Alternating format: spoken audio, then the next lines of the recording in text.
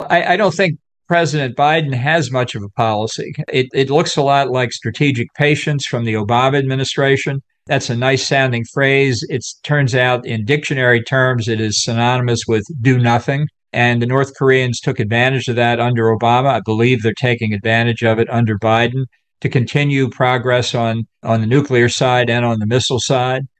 Th- this is Donald Trump as president. He what, what did he like most about the famous first meeting with Kim Jong Un in Singapore?